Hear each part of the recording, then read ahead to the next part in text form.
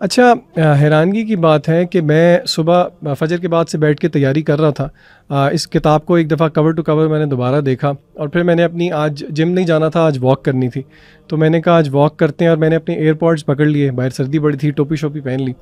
और आज मेरा आम तौर पे मैंने अपनी कोई यूट्यूब की कोई प्लेलिस्ट तैयार की होती है, कोई पॉडकास्ट वगैरह की। आज, क्योंकि ये मैं किताब पढ़ रहा था और बहुत ज़्यादा कुरान के बारे में बात चल रही थी तो मैंने कहा, चलें, आज कुरान लगाते हैं। और अल्लाह की तरफ़ से जो मैंने जिस सूरत का इंतखब किया ना वो सूरत ज़ुमर थी। सूरत ज़ुमर इसलिए थी क्योंकि उसमें एक आयत है जो कि अपने कईम ने कोट की कि जिसमें अल्लाह ताला ना कुरान मजीद की तासीर बताते हैं हम्म, कि हम्म। अल्लाह नज़ल अहसन हदीफ़ किताब मुतशाब यानी कि जिसका मीनिंग ये है अल्लाह ने कुरान नाजिल किया वो गूज बम्प्स देता है उससे जल्द नरम हो जाती है दिल जो है वो हम्म, झुक जाते हैं। इस तरह का कुछ उसका कुछ मीनिंग है। अच्छा जब मैं वॉक करके वापस आया तो इसका ना आखिरी चैप्टर रहता था बुक का।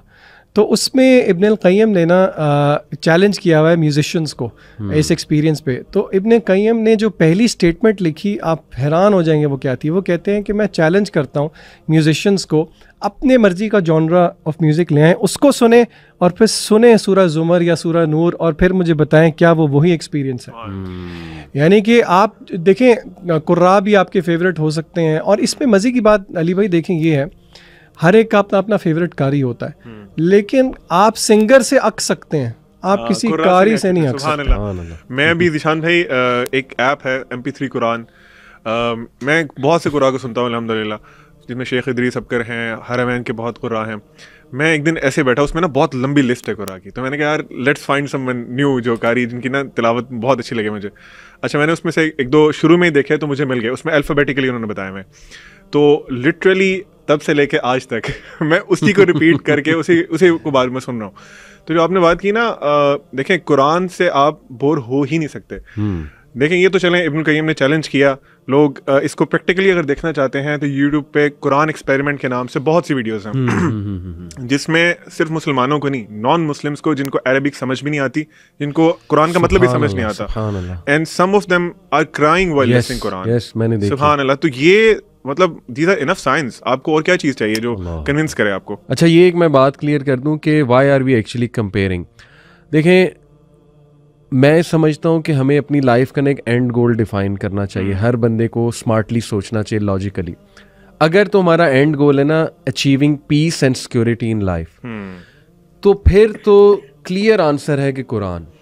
लेकिन अगर आपका एंड गोल है कि नहीं मैंने तबाह होना है मैंने सफ़र करना है ठीक है ना या YOLO you only live once बस ये मेरी ज़िंदगी का मकसद है। और टू बी ऑनेस्ट मैं तो कहूँगा कि अगर तबाही आपने सोच ली है कि बस मैं डिल्यूजन्स में रहूँ। हम्म, हम्म। मैं इल्यूजन्स में रहूँ क्योंकि जितना म्यूज़िक मैंने सुना मैं पूरी ज़िम्मेदारी से कह सकता हूँ इट्स एन इल्यूजन वमल हयात दुनिया इल्ला मताउल गुरूर। दुनिया की जो लज्जतें हैं इसको मैं ऐसे इंटरप्रेट करता हूँ। दुनिया इट्स तो ज़ाहिर है हम हम्म, हमें नहीं कहना चाहिए कि सारे एक अर्स प्लेस है। ऑब्वियसली हदीस है ऑल दो के everything in this world is accursed except the ज़िक्र ऑफ़ अल्लाह उसको मैं ऐसे देखता हूँ कि if you are spending life according to इस्लाम तो दुनिया इज़ अ गुड प्लेस अल्हम्दुलिल्लाह हयातन तय्यबा भी जिसको हाँ, हयातन तय्यबा बिल्कुल ऐसे ही है।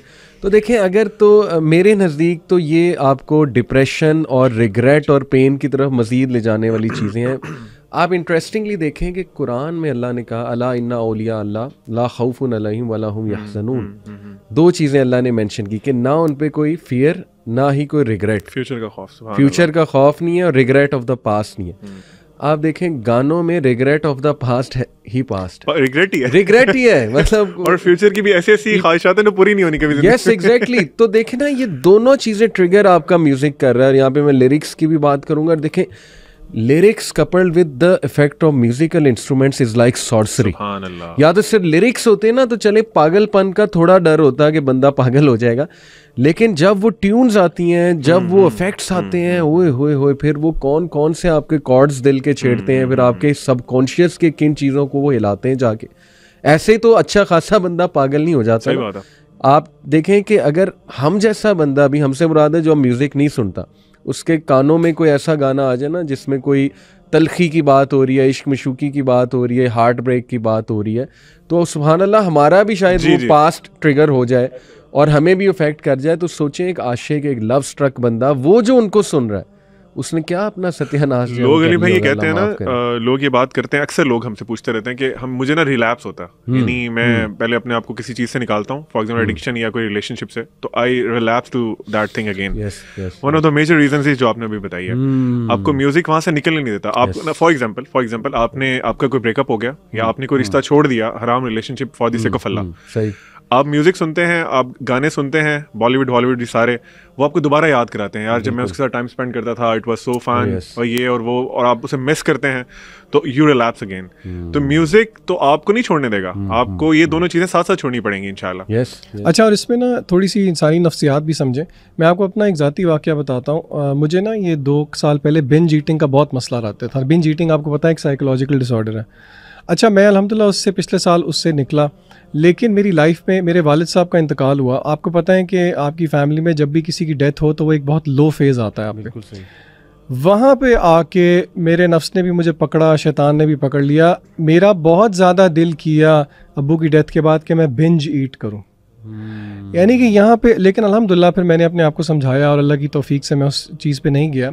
यहाँ पे मैं इसको म्यूज़िक से रिलेट इसलिए करना चाह रहा हूँ कि बहुत सारे वाक़यात आप जब म्यूज़िक सुनते हैं ना तो आपको शौक होता है तो आप अपनी ज़िंदगी के बहुत सारी इवेंट्स को रिलेट करते हैं म्यूज़िक के साथ। मसलन फॉर। एग्ज़ाम्पल आपकी ज़िंदगी में खुशी आई बंदा ट्रिप पे जा रहा है एक प्लेलिस्ट बनाई हुई है सही। कोई गमी का मौका आया जहाँ आपने गज़लों की प्ले प्लेलिस्ट बना ली है आप दोस्तों के साथ जा रहे हैं आप डेथ मेटल सुन रहे हैं वो आपका एड्रेनलिन नेक्स्ट लेवल पे लेके जा रहा है। अच्छा फिर होता यह है कि आपकी ज़िंदगी में जब भी कोई इस तरह का इवेंट आया मसलन कि आपको लो आ गया कोई तो आप उसको सहारा देने की कोशिश करेंगे आ, अपनी तरफ़ से वो लो गानों को जो कि अपेरेंटली तो आप समझ रहे होंगे कि मुझे वो हेल्प कर रहे हैं लेकिन वो आपको हेल्प नहीं कर रहे वो आपको मज़ीद नीचे लेके जा रहे हैं। मेरे साथ इस तरह हुआ ये अब्दुल अलीम ने जिस तरह बात की है ना I think three years back four years back मैं अपनी फैमिली के साथ एक रेस्टोरेंट में बैठ के हम खाना खा रहे थे। हम्म, हम्म, आपको पता है रेस्टोरेंट्स में म्यूज़िक वगैरह लगा होता है।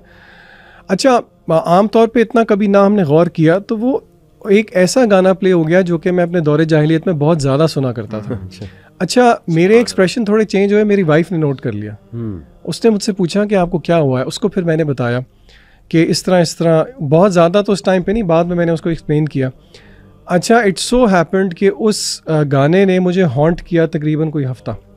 फिर मैंने हमारे जो दोस्त भाई हैं हमास उसको मैंने उसके साथ ये शेयर किया। मैंने कहा यार ये जेनवन मसला हो गया मेरे साथ कि उसने फिर मुझे एक रेमेडी बताई विच वर्कड हम्म, उसने कहा था जब म्यूज़िक छोड़ा था तब जो कुरान मजीद की तिलावत सुनी थी ना वो दो- वो उससे उसको दोबारा सुनो।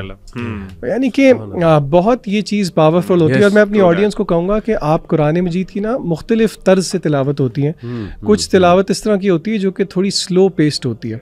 इवन अगर आपको मतलब नहीं भी समझ में आ रहा और इसकी दलील है अलिफ लाम मीम जैसे कि हदीस में आया है कि उसका मानी सिर्फ़ अल्लाह और उसके रसूल को पता है लेकिन अजर उसका भी है। कुरान मजीद को गौर से सुनने के बारे में कुरान खुद कहता है तुरहमून कि उस वक़्त गौर से अगर सुना जाए तो रहमत होती है। तो मेरी सब जो भी म्यूज़िक सुन रहे हैं आप ये ना समझें कि हम आपको ये कह रहे हैं कि हम म्यूज़िक नहीं सुनते इसलिए हम we only advocate Quran for this नहीं there are good reasons why आपको भी सोचना चाहिए इस बारे में। अपने आप को एक थोड़ा सा बेनिफिट ऑफ़ डाउट दें तो सही। इससे निकल के कुरान सुने तो सही। वो एक्सपीरियंस करें और फिर म्यूज़िक देखें and then sanely decide yourself कि आपको क्या चूज़